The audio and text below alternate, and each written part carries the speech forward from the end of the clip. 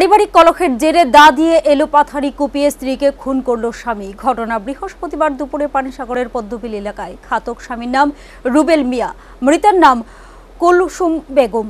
অভিযুক্ত গ্রেফতার, ঘটনায় এলাকায় চাঞ্চল্য। স্বামীর হাতে আবারও খুন স্ত্রী।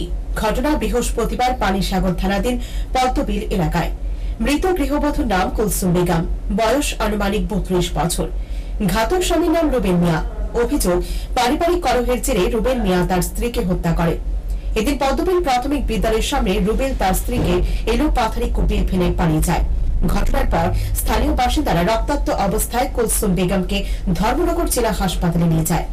কর্তব্যরত চিকিৎসকরা কুলসুমকে মৃত বলে ঘোষণা করে। ঘটনা প্রসঙ্গে পিতার শাশুড়ি তথা ঘাতক রুবেলের মা নিজ প্রতিক্রিয়ায় ঘটনার কথা স্বীকার করেন।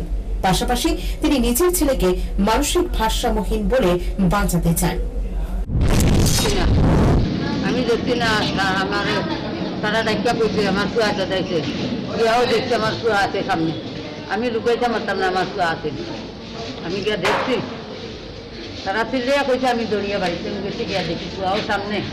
বউ আমার রাস্তা আচ্ছা কোন সময় কোন সময় ঘটনা করছে টাইমটা আজকে নেই আজকে নেই। আজকে কোন সময় কোনো দুপুরবেলা নেই দুপুরবেলা? দুপুরবেলা আমি আজ কদিন দু তিন দিন তার ভাবটা খারাপ কাল আমার পাঠাই দিচ্ছি এদিকে কাছ থেকে খবর পেয়ে মৃতার ভাই ধর্মনগর জেলা হাসপাতালে ছুটে আসে। ঘটনার খবর পেয়ে পানিসাগর থানার পুলিশ ঘটনাস্থলে ছুটে আসেন। বিস্তারিত জেনে তল্লাশিতে নেমে ঘাতক রুবেল মিয়াকে গ্রেপ্তার করে থানায় নিয়ে যায়। বর্তমানে ঘাতক রুবেল পুলিশি হেফাজতে রয়েছে। এই ঘটনার প্রত্যক্ষদর্শী একটি ছোট মেয়ের জবানবন্দি নেয় বলে জানায় পানিসাগর থানার পুলিশ।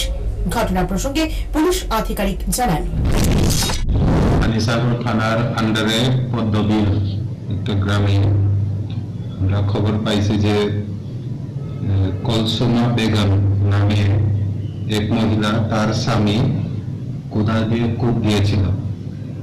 তো ফলে প্রিভিয়াস ইনজুরি হয়েছে মহিলার।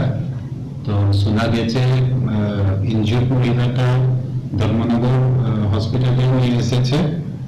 আর এখানে হসপিটালে আনার পরে ডক্টর ব্রড ডেট ডিক্লেয়ার করেছিল।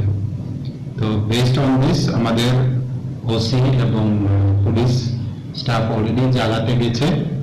তো ফার্দার যে লিগাল অ্যাকশন হবে এস পার দি সিচুয়েশন তো পুলিশ এখনও স্পটে আছে। বাকি যা লিগালি অ্যাকশন হবে, এটা আমরা করে দেবো। মৃতার পরিবার সহ এলাকায় শোকের ছায়া। উল্লেখ্য, মৃতা কুলসুম ও রুবেলের গত দশ বছর আগে সামাজিকভাবে বিয়ে হয়। বিয়ের পর থেকে হামেশাই স্বামী স্ত্রীর মধ্যে বিবাহ লেগেই থাকতো বলে প্রতিবেশীরা জানায়। Bureau report, Halapur.